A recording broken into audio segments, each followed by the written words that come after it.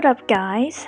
And um, I've decided that I'll try and voice Cornelia and Amanda. Um, because you know, I've been trying to practice the Italian accent quite a bit, and I think it's going good.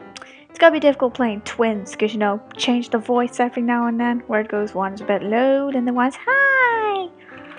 And um, yeah, and if it's very echoey, um, yeah, I'm using my new iMac, and this room is pretty echoey.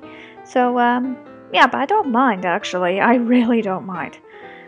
But, um, yeah, so I'm gonna try and voice these two if I can, and if I can't, um, yeah, look at the other videos that I've been saying that these two need voices.